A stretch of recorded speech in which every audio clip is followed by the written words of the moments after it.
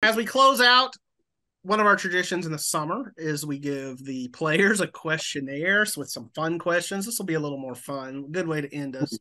Um, and one of the questions we asked, uh, by the way, I'm going to interrupt myself. One of the questions we asked was uh, about which uh, actor would play their head coach in a movie.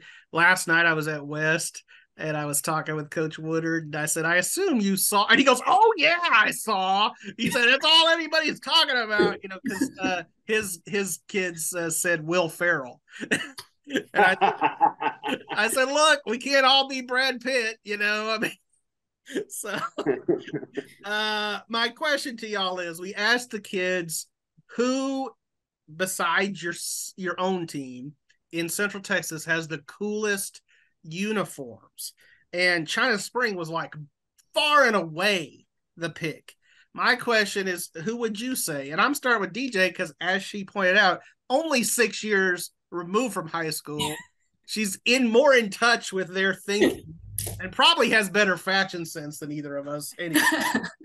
um, well, my high school colors were navy and burnt orange. And I thought we had some pretty nice uniforms. Like you had the navy with the white numbers and some orange and white stripes on the shoulders, and uh, the inverse of that with the white jerseys and the navy numbers. And although we lost a lot of games, at least we looked good. you look um, good losing. Yeah. Um, we did make it to playoffs my last two years, but after that, it's been not great. Um, so who's your pick? I re okay, I agree with China Spring because I just think you know that shade of blue specifically, everybody kind of goes crazy over no matter where like what sport you're playing. I mean, when the when the Liberty baseball uniforms came out, and they they obviously did the whole bit with the Celine Dion song, but like this the the uniforms were nice and mm. um I don't know that that shade I blue is my favorite color, so I really like those uniforms. But I gotta say, like Teague has some nice jerseys. Like when we were at photo day and they kind of showed up, I don't think that I really saw anybody with like that kind of jersey where it's just like this really vivid orange and you know you can tell they, the numbers clearly. They stand out in that orange. They're, yeah. Orange is kind of an underutilized. A lot of people wear blue. Mm-hmm. Uh, and black and stuff, but yeah, orange is one of those that's. I, I do like a nice black jersey like a very crisp black jersey, but you have to work with the other colors well. Like I mm. thought Blum was really cool because like they came out this like neon green and um, you know, obviously yeah, I would call that yellow. Neon yellow. Uh, there's a lot of dispute over that, but men and women see colors different. All right, they we don't have much nice time. I want I want to get your thought, Chad. What what do you say?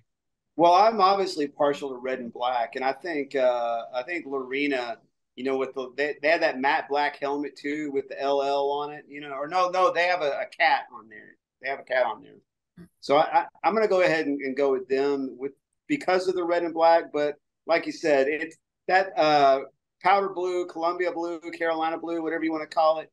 That's easy to like. It is easy to like. Blue. It takes me back to uh, the Houston Oiler days. Uh, and uh, I also was born in North Carolina and so I've always had a little bit of a Tar Heel kind of thing.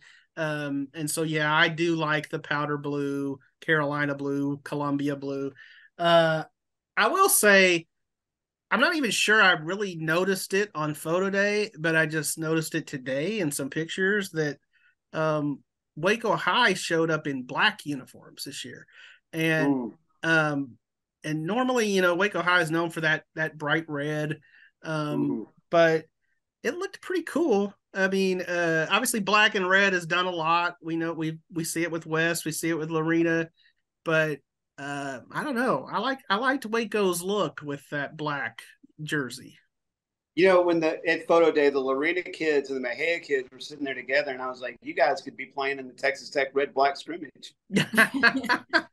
yeah, because they were both Under Armour too. Yeah. Okay. Okay.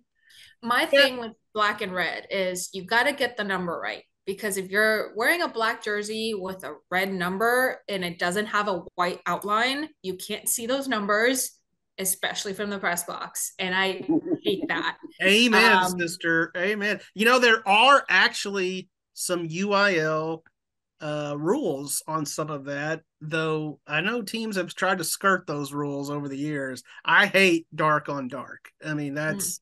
that's really hard to read, as you said, especially with no outline. So anyway, all right. Well, that's our fashion corner for today.